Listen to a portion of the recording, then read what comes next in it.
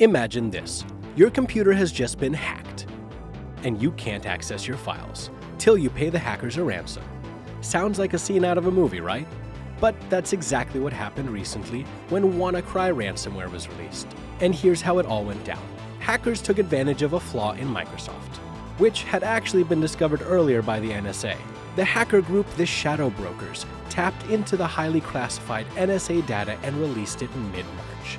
The recent attack happened when an unidentified cyber gang picked up the malware and scanned computers globally, releasing a virus that went looking for victims who hadn't updated the Microsoft software in the last two months. As a result, hospitals, businesses, governments, and personal computers were affected in over 150 countries.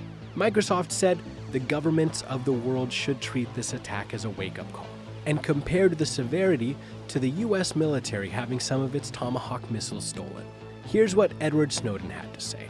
If at NSA Gov had privately disclosed the flaws used to attack hospitals when they found it, not when they lost it, this may have not happened.